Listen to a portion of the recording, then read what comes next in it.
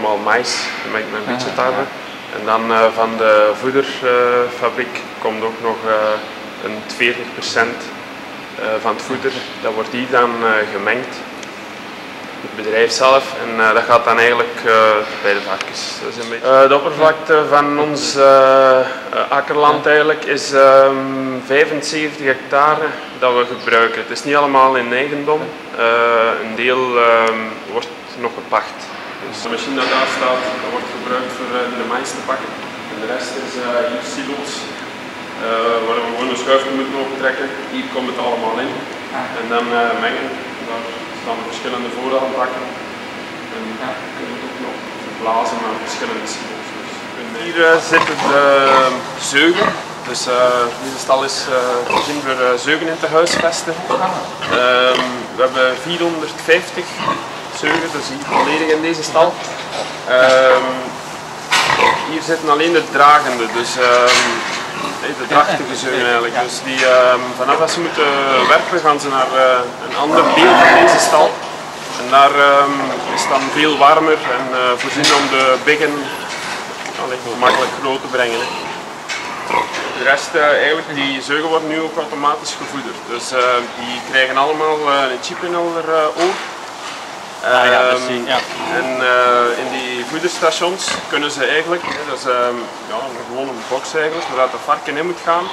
Eh, en daar krijgt hij eh, de portie voeder dat ze eigenlijk voorzien is voor, voor die dag. Dus dat varieert van dag 0 van de dag tot dag 115 van de dag. Dus na 115 dagen worden de biggen geboren. Dat is eigenlijk redelijk juist bij een varken.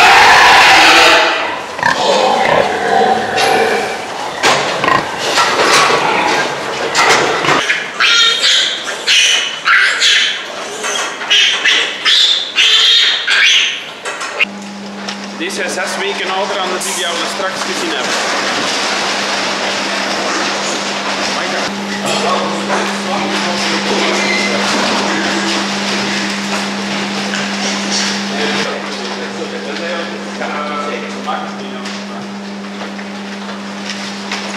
Dat? Is de laatste stal eigenlijk in de ganse slachthuis.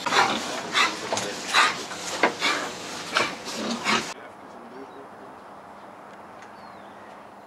be, eh, begint met dekken.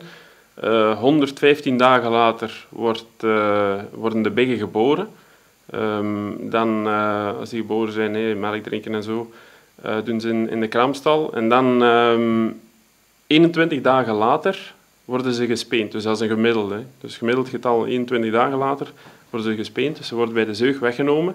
Die biggen die verhuizen naar ehm, een, een batterij, wordt dat genoemd. Dus dat is een stal waar ze extra gevoederd kunnen worden, extra temperatuur om, om goed te kunnen groeien.